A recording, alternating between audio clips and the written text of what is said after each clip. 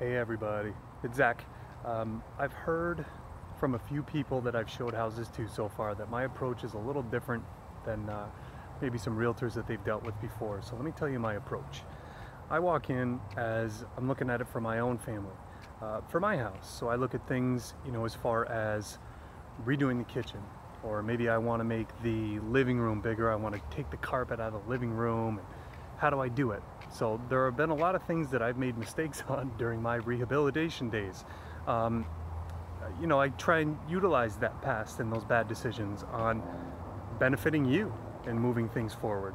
Um, so that's been kind of my approach. Um, I'm more of a consultant. You get to choose who you work with. I've said it before. Um, so the people that call me to buy a house, list a house, upgrade, downsize, means the world. Supporting local business and a local businessman means the world to me. So I can't thank you so much for your support.